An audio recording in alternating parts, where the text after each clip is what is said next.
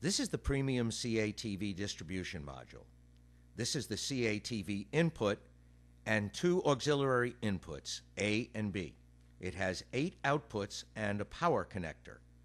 Using a small screwdriver, remove the cap of the 20 dB variable attenuator.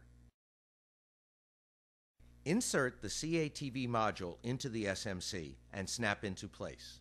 Using a coaxial stripper, strip the outer jacket of your cable, remove and discard. Attach the connector to the cable.